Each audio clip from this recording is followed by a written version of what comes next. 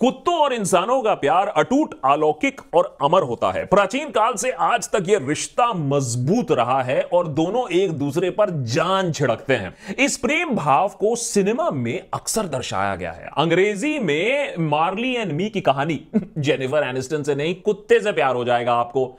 या फिर हाचिको की दास्तान उसको देखकर, कुत्ते की लॉयल्टी देखकर आप एक बाल्टी रोगे और फिर कुत्ता अगले दिन अपने आप आपके घर के अंदर होगा। या फिर बॉलीवुड में देख लीजिए, हम आपके हैं, कौन कौन? अरे टफी के बिना ये पिक्चर बनती नहीं। एम्पायरिंग में चीटिंग के अलावा सलमान और माधुरी की जोड़ी किसने बनाई? टफी ने।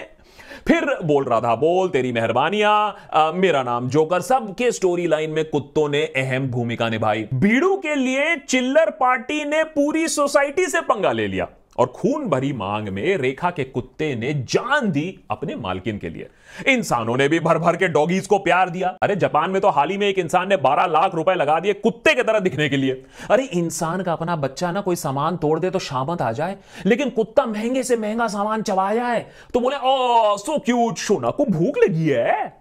अरे, पॉलिटिक्स की बात कर लो। नरेंद्र मोदी और राहुल गांधी एक दूसरे से जुदा जुदा एक दूसरे से खफा खफा लेकिन कुत्तों से प्यार दोनों को है। रागा का पिद्दी प्रेम।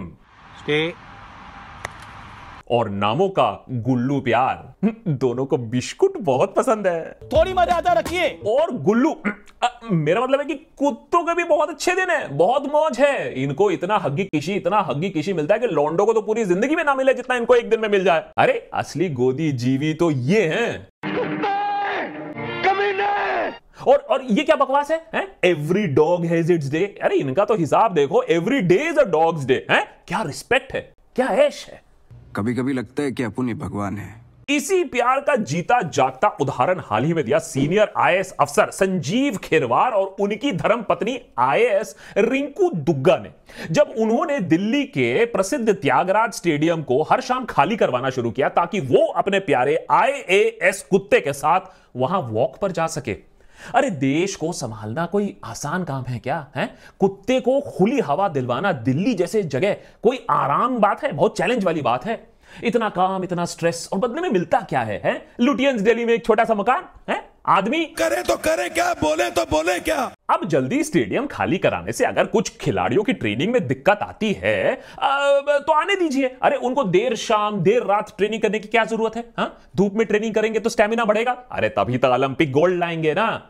भाई देखो एकांत कोई चीज़ होती है प्रिवेसी नाम की कोई चीज़ होती है नहीं होती है? हमें और आपको प्रिवेसी से कोई फ़र्क नहीं पड़ता है लेकिन आईएएस अफसर की बात अलग है मेरे भाई। हमारा क्या है? हम तो फकीर टाइप इंसान है, है? हमारे आधार डिटेल से कोई फ्रॉड कर देता है हमारे बैंक अकाउंट में? हमारे फ़ोन नंबर और हमारा डेटा मार्केट में ऐसे ही बेचा जाता है। और आप क्या खा रहे हो क्या पहन रहे हो किससे प्यार कर रहे हो किसको पूज रहे हो? ये सब तो पूरी तरीके से आजकल समाज ही तय करता है। लेकिन उसी जालिम समाज का प्रहार इस आईएएस ऑफिसर कपल के साथ हुआ और उनके कुत्ते पर प्रहार हुआ जब इंडियन एक्सप्रेस के एक जुझारू रिपोर्टर और उसका जुझारू कैमरा पर्सन स्टेडियम के बगल वाले बिल्डिंग पर चढ़ गए, हर शाम को ट्रैक करने लगे, ये आईएएस अफसर क्या कर रहा है यहाँ?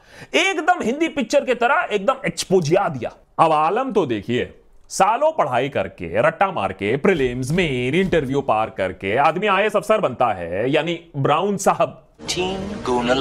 लाल बत्ती वाली गाड़ी मिलती है नौकर चाकर मिलते हैं जनता सलाम ठोकती है।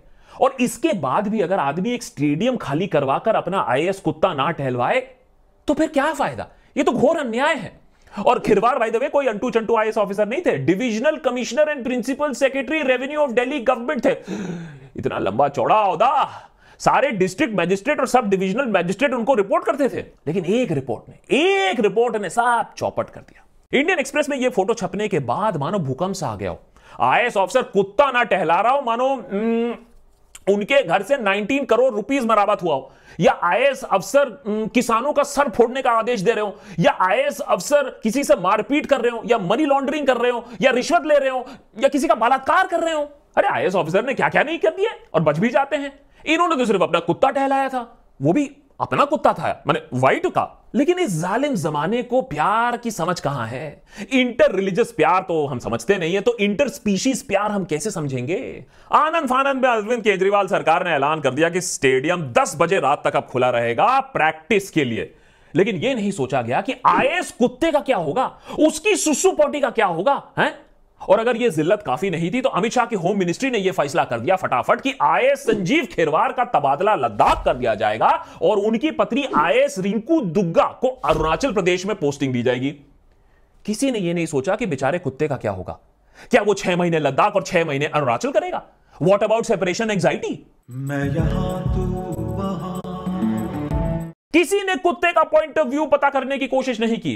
कुत्ते के भी राइट्स होते हैं। हैशटैग डॉग लाइव्स मैटर इस बात पर नौ बजे डिबेट होना चाहिए। वैसे में भी लोग भोगते रहते हैं नौ बजे टेलीविज़न पर, लेकिन असली मुद्दा तो यह है। एक्सपर्ट्स की राय लेनी चाहिए कि कुत्ते की मानसिक संतुलन पर इस पर क्या इफ़ेक्ट पड़ेगा। अभी देश फ़िलहाल इस अहम सवाल पर बटा हुआ है कि कुत्ता कहाँ जाएगा। खुदाई से ब्रेक लेकर इस अहम मुद्दे पर लोग विचार विमर्श कर रहे हैं।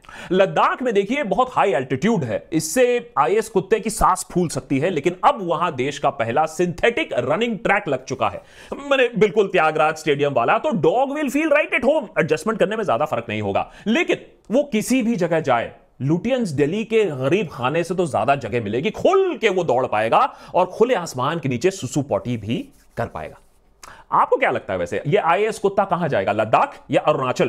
कमेंट सेक्शन में लिखकर हमें बताइए। लेकिन इस सेमी हैप्पी एंडिंग में एक बाधा अभी भी लग सकती है। कई लोग ये बोल रहे हैं कि लद्दाख और अरुणाचल कोई पनिशमेंट पोस्टिंग के लिए बने हैं क्या?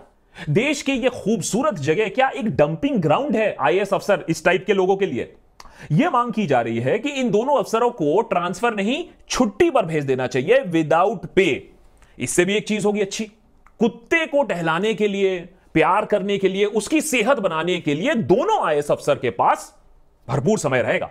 तो देखिए, हर नेगेटिव स्टोरी में पॉजिटिव एंगल ढूंढना चाहिए और पॉजिटिव स्टोरी तो यही है कि हमें समझना चाहिए द डॉग राइट मैटर्स और कुत्ते की भलाई में ही सबकी भलाई है। नेता टाइप आधा काम मत करो। सब्सक्राइब के साथ साथ बेल आइकॉन भी दबाओ।